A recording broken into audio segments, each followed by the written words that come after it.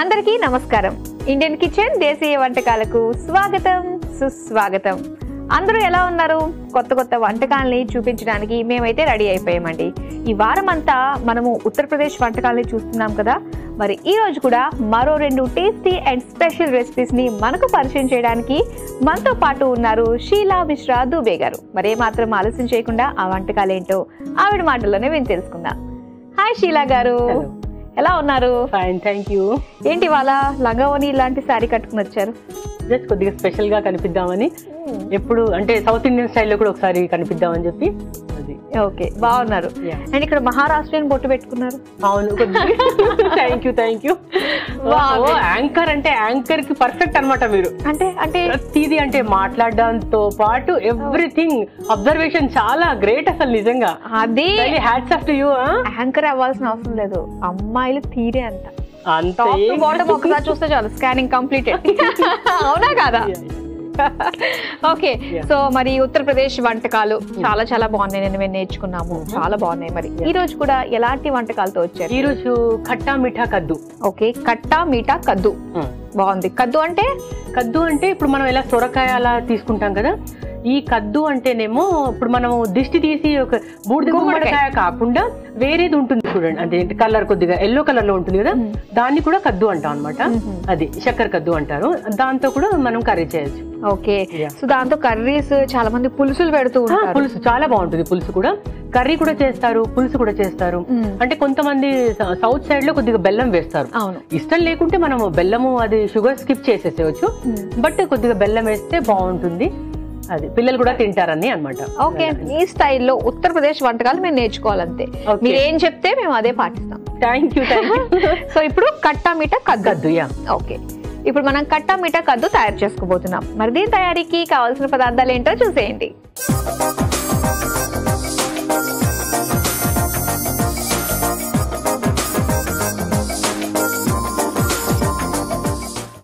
మీఠా కద్దు తయారీకి కావాల్సిన పదార్థాలు సిద్ధంగా ఉన్నాయి సో ఇక్కడ వచ్చేసి మనకి గుమ్మడిలో రెండు రకాలు ఉంటాయి కదా. ఇది వచ్చేసి కాస్త ఇది ఒక ఇది వచ్చేసి అదే Yellow colour ఎల్లో. కలర్లో ఉంటుంది అనమాట చాలా తొందరగా మనకి బాయిల్ అయిపోతుంది తెలుసా? పెట్టే పెట్టే లోపలే మెత్తగా అయిపోతుంది అనమాట చాలా తొందరగా బాయిల్ అవుతుంది కర్రీ మార్నింగ్ మార్నింగ్ పిల్లలకి బాక్సులు పెట్టాలి అనుకున్నప్పుడు ఇలాంటి కర్రీస్ మ్మ్. బెస్ట్ అన్నమాట. న్యూట్రిషన్ చాలా అంటే న్యూట్రిషన్స్ కూడా బాగుంటాయి ఇందులో. నార్మల్ బూడిద గుమ్మడికాయలు ఎలా ఉంటాయో ఈ గుమ్మడికాయలు కూడా అలా ఉంటాయి అనమాట ఓకే వంట చేస్తూ మాట్లాడుకుందాం దీనికి. సంబంధించి. ఓకేనా? యా స్టవ్ ఆన్ చేసేస్తాం. ఓకే. ఇలా ఒక టూ టేబుల్ స్పూన్స్ మనము ఆవ నూనె వేద్దాం. ఆవు నూనె ఆవ నూనె. టేస్ట్ బాగుంటుంది. మాక్సిమం అక్కడ ఆవ నూనె ఎక్కువగా వాడతారు మాధురి యాక్చువల్గా. సో బాడీ పెయిన్స్ ఇవన్నీ కూడా రాకుండా ఉంటాయి. మామూలుగా ఆవు నూనెతోటే మసాజ్ చేస్తే చాలా మంచిది కాబట్టి ఫుడ్లో అయితే ఇంకా బాగా ఉంటుంది. మనం అంటాము ఇది రాస్తే బాగా వేడి చేస్తుంది అని కానీ తింటే ఇది మనకి చలవ చేస్తుంది యాక్చువల్గా ఆవ నూనె. అవునా? ఓకే. ఆవ నూనె వేసాం కదా. ఇప్పుడు మనం ఏం చేద్దామంటే కొన్ని మెంతులు వేసుకుందాం. కొద్దిగా మెంతులు కొద్దిగా అయ్యాక ఆ, కలుపుదాం పులుసుల్లోకి మాత్రమే యాక్చువల్గా ఏంటంటే ఇక్కడ మెంతులు వాడుతూ ఉంటారు. అవును అవును అవును. ఓకే తర్వాత? మెంతులు వేసిన తర్వాత మనం ఇందులో కొద్దిగా ఇంగువ వేసుకుందాం. ఓకే.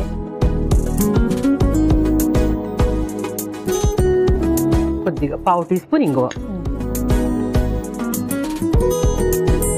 ఆ తర్వాత అల్లం వెల్లుల్లి పేస్ట్ వేసుకుందాం కొద్దిగా. ఓకే. కొద్దిగా అల్లం వెల్లుల్లి కలర్ వచ్చేంత వరకు మనం వేయించేసి అందులో కొద్దిగా పొయ్యి సిమ్ చేసేసి కారం ఒక హాఫ్ టీ స్పూన్. ఉప్పు రుచికి సరిపడా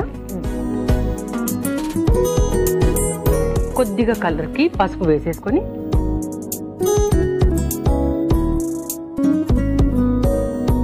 ఈ గుమ్మడికాయ ముక్కల్ని కూడా వేసేద్దాం.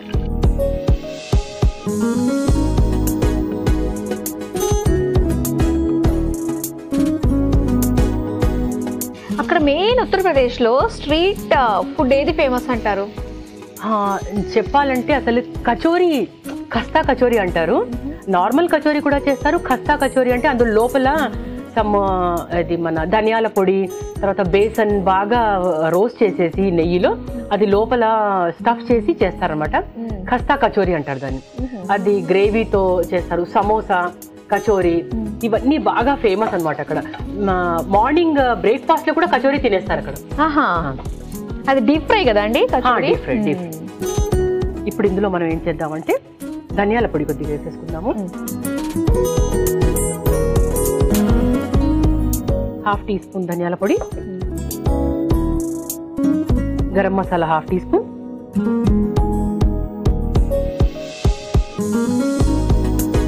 Sugar కూడా వేసు కట్టా మిట్టా అన్నాం కదా.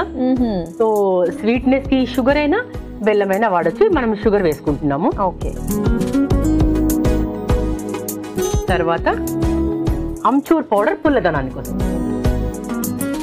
వేసేసుకొని కట్టా మీఠా రెండు కట్టా వచ్చేసి మీఠా రెండు వచ్చాయి కాబట్టి ఇది కలిపేసి మనకి ఇప్పుడు కొద్దిగా వాటర్ వేసేసుకుందాం. ఇది కూడా చాలా సింపుల్ ఉంది వంట. చాలా అంటే చాలా. జస్ట్ టూ త్రీ మినిట్స్లో అయిపోతుంది అనమాట. మ్యాగీ ఎలా టూ త్రీ మినిట్స్ అంటారు కదా? ఇది అంతే. కర్రీ కన్సిస్టెన్సీని బట్టి మనం కొద్దిగా వాటర్ వేసేసుకుందాం ఒక్కసారి ఇలా కలిపేస్తారా? Yeah okay. చాలా ఈజీగా మామూలుగా ఏంటంటే గుమ్మడికాయ వచ్చిందంటే మనకి సీజన్ ఆ టైంలో మనం ఏంటి. పులుసులు పెట్టుకోవడము అవును. వడియాలు పెట్టుకోవడము. వడియాలు కూడా పెట్టుకుంటాం. ఇలా చేస్తూ ఇప్పుడు ఉంటాం చూడండి మనం కలుపుతూ ఉన్నంత సేపట్లోనే అసలు ఎలా మెత్తగా అయిపోయింది. మగ్గిపోతుంది తొందరగా. మగ్గిపోతుంది. అంటే మనము పైన తొక్క లేకుండా పెట్టాము. తొక్క ఉంచి కూడా మనం చేసుకోవచ్చు. కర్రీ అయినా చేసుకోవచ్చు. మనం పులుసు ఎలాగో తొక్క ఉండి కూడా పులుసు చేస్తాం కదా. అవును. అంటే ఇష్టం ఉంటే అలా కూడా చేసుకోవచ్చు ఇలా కూడా చేసుకోవచ్చు. సో మూసేసి మనం కొద్దిసేపు ఇలా పెడదాం ఓకే మూత పెట్టేద్దామా? యా మూత పెట్టి. పక్కన పెట్టేసేయండి యా. శీలా గారు చూద్దాం ఎంతవరకు వచ్చిందో. ఓ రెడీ. పైన ఆయిల్ వస్తుంది కదా సో అయిపోయినట్టే థిక్గా కూడా అయిపోయింది. అవును. మనం ఇప్పుడు ఏం చేయాలంటే స్టవ్ ఆఫ్ చేసుకోవాలి. స్టవ్ ఆఫ్ చేసుకొని పైన కొద్దిగా కొత్తిమీరతో గార్నిష్ చేసుకుందాం. ఓకే డైరెక్ట్గా మనం సర్వింగ్ బౌల్లోకి షూర్ తీసిన తర్వాత గార్నిష్ చేసుకుందాం.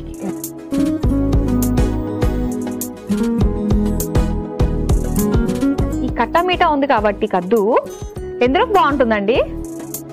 రైస్లోకి పుల్ల పుల్లగా బాగుంటుంది కానీ తీగి ఎలా ఉంటుందని ఆలోచన అంటే మనం కొద్దిగా షుగర్ కొద్దిగా వేసాం కాబట్టి అన్నంలో కూడా తినొచ్చు. ఒకవేళ షుగర్ కొద్దిగా ఎక్కువగా వేస్తే అన్నంలోకి బాగుండదు. అవును కదా? కొద్దిగా పులుపు ఎక్కువగా ఉంటే మనము ఆ, అన్నంలోకి కూడా కలుపుకొని తినేసేయచ్చు. కొత్తిమీరతో గార్నిష్ చేసేసుకుందాం మాదిరి ఓకే. చాలు కదా? యా. టైం ఫర్ టేస్ట్ అవును. వేడి వేడిగా కట్టా మీఠా కద్దు రెడీ అయిపోయింది. మరి దీని తయారీకి కావలసిన పదార్థాలు తయారు చేసే విధానం మరోసారి చూసేయండి.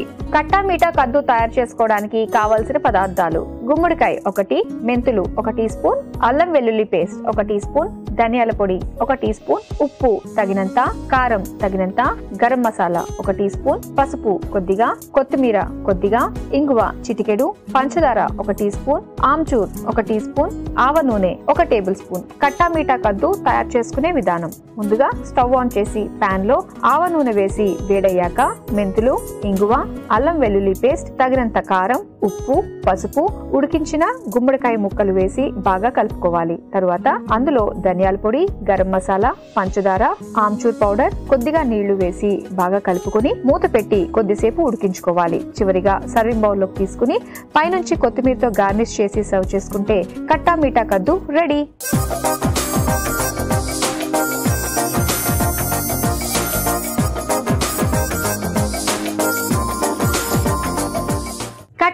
కద్దు తయారీకి కావాల్సిన పదార్థాలు తయారు చేసే విధానం చూసారు కదా? ఇప్పుడు టేస్ట్ చేసి ఎలా ఉందో చెప్తాం. టేస్ట్ చేద్దామా అండి? ఓకే.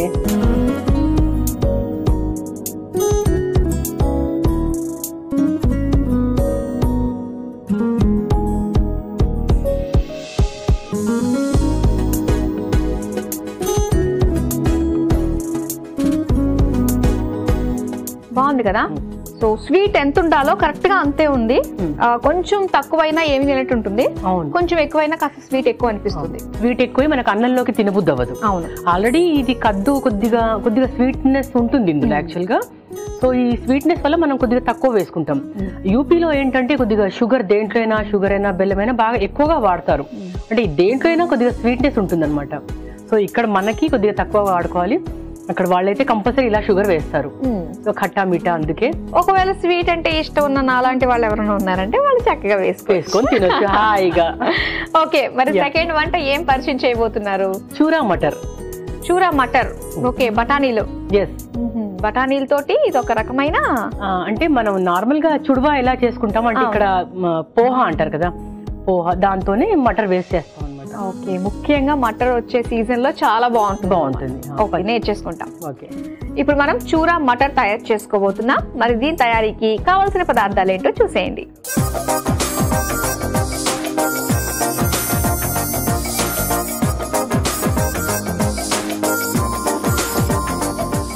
చూరా మటర్ తయారీకి కావలసిన పదార్థాలు సిద్ధంగా ఉన్నాయి. సో బా పోహం చూసి ఎంతకాలం అయిందో నాకైతే. కదా? ఓకే మరి స్టార్ట్ చేద్దామండి అయితే. నేనైతే స్టవ్ ఆన్ చేస్తా.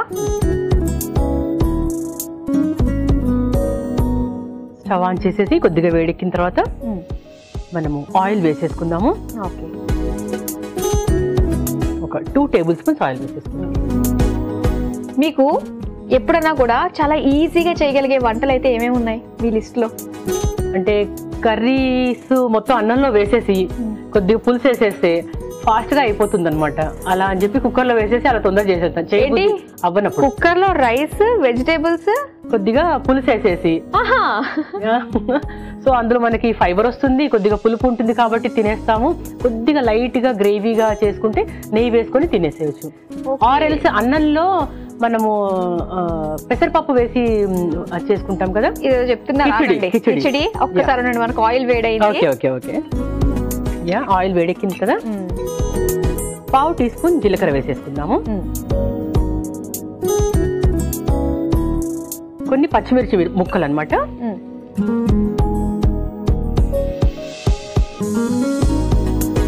అల్లం ముక్కలు.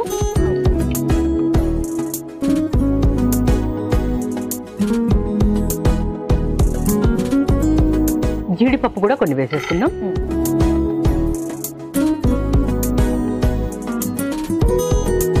కొద్దిగా కలర్ వచ్చిన తర్వాత జీడిపప్పు. ఇంగువ వేసుకుందాం.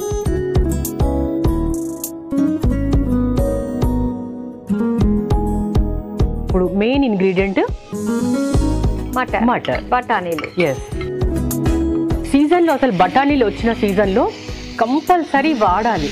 మ్మ్. హెల్త్కి మంచిది కాబట్టి బఠానీలు ఎక్కువగా వాడాలి. ఇందులో అయినా నార్మల్గా అన్నంలో అయినా మటర్ వేసి చేసుకోవచ్చు.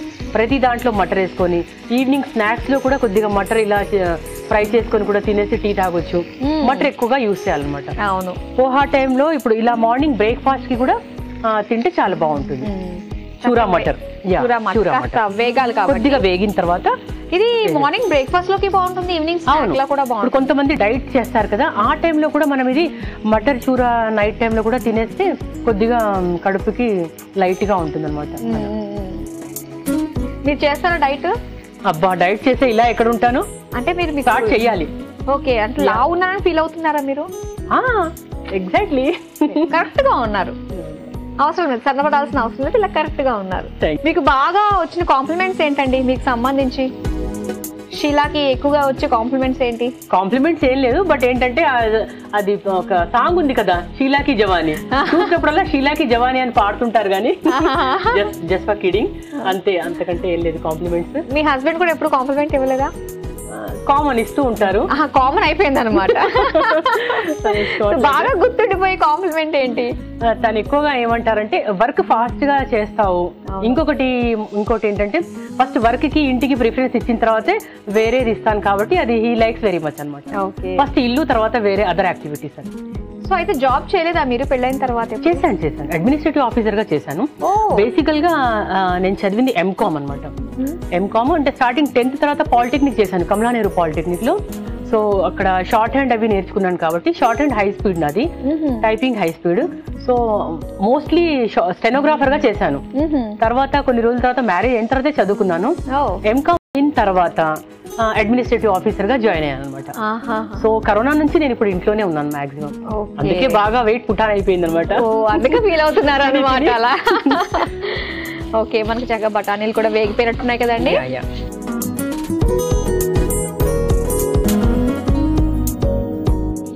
ఇప్పుడు మనం పోహా వేసేసుకున్నాం అంటే చూరా మటర్ అన్నారు కదా?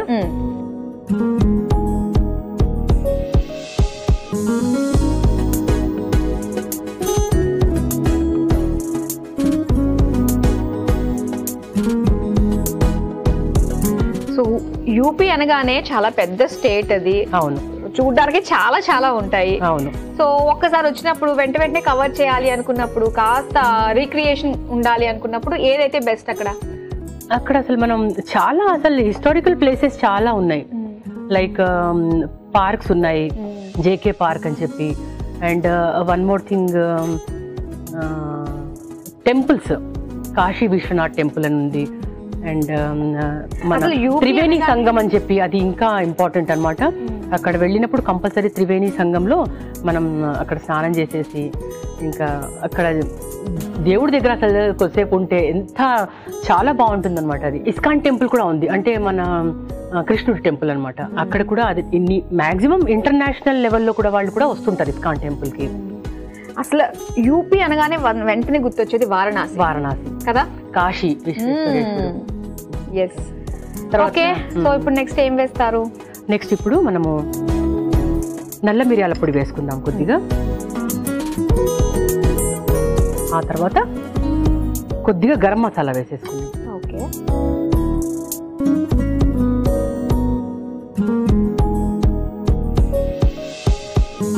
కొద్దిగా ఉప్పు కూడా వేసేసుకుందాం ఎంత తగినంత. ఇప్పుడు కల- కలిపేద్దాం. ఆల్మోస్ట్ అన్ని వేసేసుకున్నట్టే కదా. ఓకే షీలా గారు సో ఎంత వరకు వచ్చింది? Almost all అయిపోవచ్చింది. జస్ట్ మనం కొద్దిగా నిమ్మరసం పిండేసుకొని. కొత్తిమీర వేసేసుకొని తీసేసుకోవచ్చు. చేసుకోవచ్చు.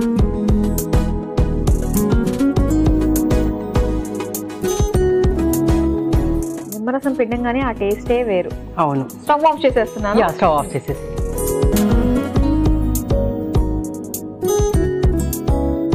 కలిపేసుకొని. కొద్దిగా కొత్తిమీర వేసేసి తీసేసేయచ్చు. మటర్ చూర్మా రెడీ.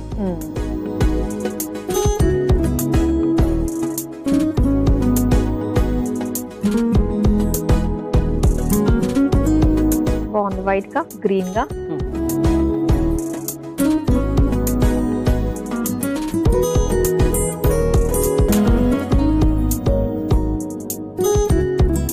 కొంచెం వేద్దామా? పైనుంచి? Okay okay.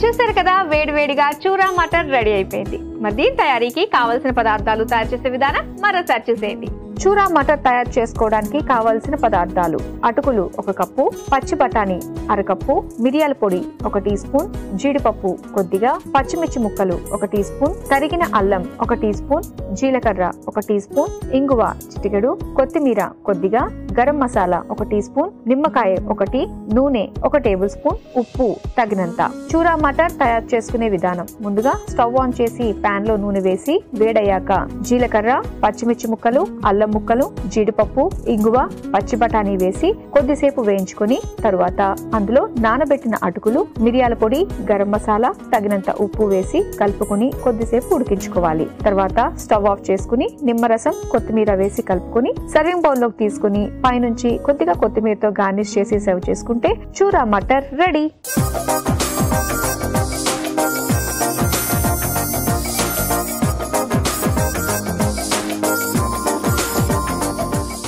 చూరా మటర్ తయారీకి కావాల్సిన పదార్థాలు తయారు చేసే విధానం చూసారు కదా? ఇప్పుడు టేస్ట్ చేసి ఎలా ఉందో చెప్తాం టేస్ట్ చేద్దామా అండి? ఓకే షూర్ తీసుకోండి.